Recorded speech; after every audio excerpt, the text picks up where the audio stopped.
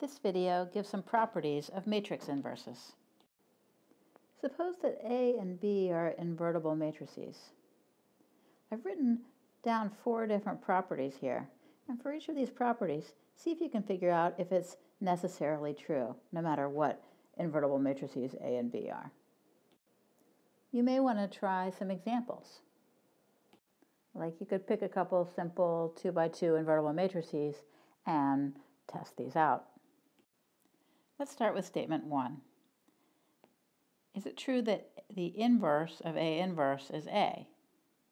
Well, yeah, that's definitely true because A inverse inverse is the matrix you multiply by A inverse to get the identity matrix, but A is also the matrix that you multiply by A inverse to get I.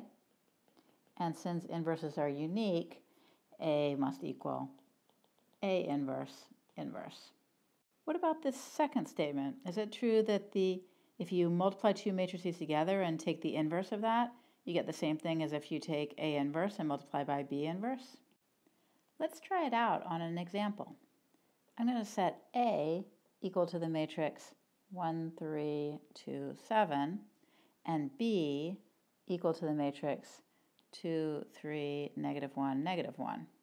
Then you can check that AB is the matrix negative 1, 0, negative 3, negative 1, and AB inverse is the matrix negative 1, 0, 3, negative 1. Remember, there's a shortcut formula that makes it easy to calculate the inverse of a 2 by 2 matrix. We just swap the entries in these two positions, which doesn't do anything in this case because the entries are the same, and we negate the entries in these two positions, and then we multiply the whole thing by the scalar that's 1 over the determinant, which is just this crisscross product, this times this minus this times this. And in this case, that determinant is just 1. So now let's calculate A inverse. Again, the determinant of this example is 1. And so I can just swap the 7 and 1 and negate the 3 and the 2. That's my A inverse. And B inverse ends up being negative 1 here, a 2 here, negative 3 here, and a 1 here. Once again, the determinant is 1. So finally, A inverse B inverse multiplies out to negative 10, negative 27, 3, 8, which is not the same as the quantity AB inverse. So this statement is false. We've broken it with our first example. However, there is a related statement that's true. If we do, instead of A inverse B inverse, we calculate B inverse A inverse, that does give us negative 1, 0, 3, negative 1, just like when we did AB quantity inverse.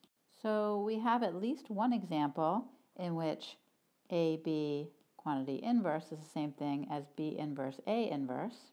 And in fact, this statement is always true. AB inverse is the matrix that you have to multiply by AB to get the identity matrix. But if you multiply B inverse A inverse by AB, the A inverse A becomes the identity matrix. The IB becomes the matrix B, and the B inverse B collapses to the identity matrix. So since B inverse A inverse times AB is the identity matrix, B inverse A inverse must be the same thing as AB quantity inverse. We're using the fact there that inverses are unique. What about this next statement? Is it true that A plus B inverse is equal to A inverse plus B inverse? Again, we can try it out with an example. Let's use the same matrices, A and B. If we compute a plus b by adding together the entries. We get 3, 6, 1, 6. And if we compute the inverse of that, we end up with a matrix 1 half, negative 1 half, negative 1 twelfth, 1 fourth, which I encourage you to check. If instead we add together A inverse plus B inverse, which we calculated up here, then we get an answer of 6 minus 6 minus 1, 3, which is not the same thing as A plus B inverse. In this case, it wouldn't help to switch the order. B inverse plus A inverse is the same thing as A inverse plus B inverse, since matrix addition is commutative. In fact, there's no relationship between A plus B inverse and the inverse of A and the inverse of B. In fact, it's possible for A and B to both be invertible, but A plus B to not be invertible. Finally, let's look at the last true-false. Is it true that the inverse of 3 times a matrix A is the same thing as 1 third times the inverse of A? Well, in our example, 3A is the matrix 3, 9, 6, 21. And you can check that 3A inverted is the matrix 7 thirds minus 1 minus 2 thirds, 1 third. But that's exactly 1 third times the A inverse matrix that we calculated earlier. So this statement is true for that particular example of A, but in fact, it's true for any invertible matrix A and any scalar, not just the number 3. So in general, k times A inverse is equal to 1 over k A inverse for any invertible matrix A and scalar k that's not 0. Makes sense that this is true because if you take 1 over k A inverse and multiply it by ka, then pulling out the k, you get 1 over k times k times A inverse times A. Well, that's definitely the identity is 1 times the identity matrix or the identity matrix. And since we've multiplied two things together and gotten the identity matrix, the two things have to be the inverse matrices of each other. So 1 over k A inverse must be the inverse matrix for k times A.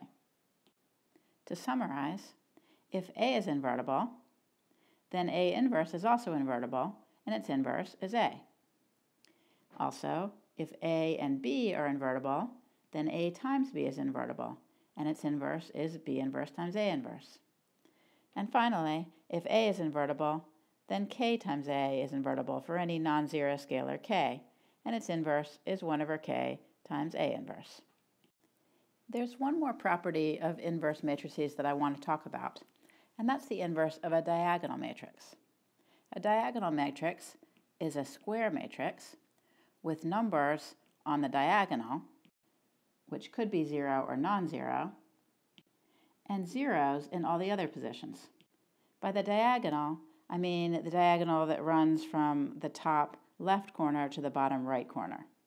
So which of these two matrices are diagonal matrices? Well, the first one is diagonal, but the second one is not. The first one's diagonal because all the entries that aren't on the diagonal are zeros. It's fine that we have a zero on the diagonal and some numbers that aren't zero on the diagonal. The second matrix is not diagonal because even though it has zeros most of the places off the diagonal, it still has a 1 here. So if A is a diagonal matrix with diagonal entries given by the numbers d1, d2, d3 through dn, and none of these diagonal entries are zeros, I'll put big zeros here to indicate that all the other entries are zeros, then A inverse is also a diagonal matrix with diagonal entries 1 over d1, 1 over d2, and so on through 1 over dn. So for example, if we want to find the inverse of this matrix with 5 and 6 on the diagonal and zeros elsewhere, then we can write it down pretty quickly as 1 fifth, 0, 0, 1 sixth. It's not hard to convince yourself that this formula for the inverse of a diagonal matrix is true. just take this matrix and multiply it by your original matrix and check that you get the identity. This video showed us how to find the inverses of matrices from the inverses of related matrices. For example, the inverse of a product is the product of the inverses but in the backwards direction. And the inverse of a scalar multiple of a matrix is the reciprocal of the scalar times the inverse of the matrix.